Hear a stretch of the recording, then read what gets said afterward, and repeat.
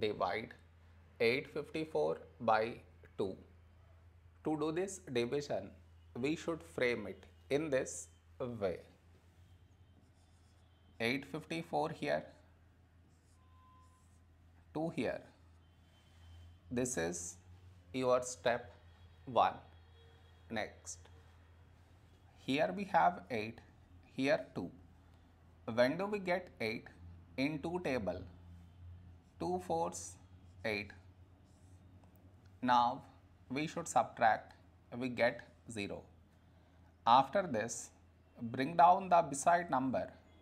So 5 down, so 5. A number close to 5 in 2 table is 2 twos 4. Now we subtract, we get 1. After this, no more, bring down the beside number. So 4 down, so 14. When do we get 14? In 2 table, 2 sevens 14. Now we subtract, we get 0. After this, no more numbers to bring it down. So we stop here.